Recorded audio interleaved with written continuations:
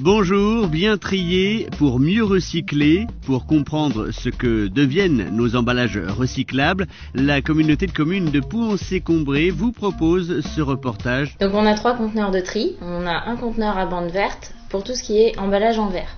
Donc les bouteilles, les pots, les bocaux. On enlève bien euh, le couvercle métallique. Le couvercle métallique va aller avec les boîtes de conserve. Donc on a un conteneur pour euh, les papiers, donc lui il est à bande bleue au milieu. Donc on va mettre tout ce qui est journaux, magazines, euh, revues, euh, les enveloppes, les annuaires, tous les papiers de bureau, les dessins, hors carton. Voilà, c'est que le papier. Et donc on a le dernier conteneur, là où on met le plus de choses, c'est le conteneur à bande jaune. Donc là on va mettre tout ce qui est briques alimentaires. Donc bien penser à les déplier pour gagner de la place. On va avoir euh, tout ce qui est emballage métallique, donc les boîtes de conserve, euh, les canettes, les aérosols, euh, les barquettes aluminium.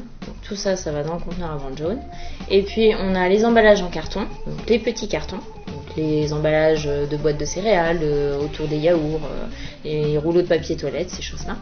Et puis enfin, les emballages en plastique, ce sont les bouteilles et les flacons en plastique. Donc bouteilles euh, alimentaires, bouteilles de produits d'entretien, flacons de produits d'hygiène, etc. Pour la bouteille d'eau, il suffit de dévisser le bouchon, on écrase avec le pied et on met le bouchon. Les bouchons se recyclent aussi, donc faut pas hésiter à les remettre. Donc pour que le recyclage soit efficace, il faut que le tri euh, soit bien, euh, bien respecté. Donc il faut euh, se fier aux consignes de tri qui sont données sur les autocollants qui sont sur les conteneurs ou dans la lettre d'information de la communauté de communes où on donne toutes les nouveautés en matière de tri.